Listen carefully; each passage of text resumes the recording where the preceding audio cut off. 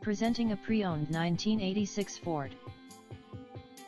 This four-door van has a two-cylinder engine, with rear-wheel drive, and a 5-speed manual transmission. This Ford is a steal with less than 10,000 miles on the odometer. This vehicle is in excellent overall condition,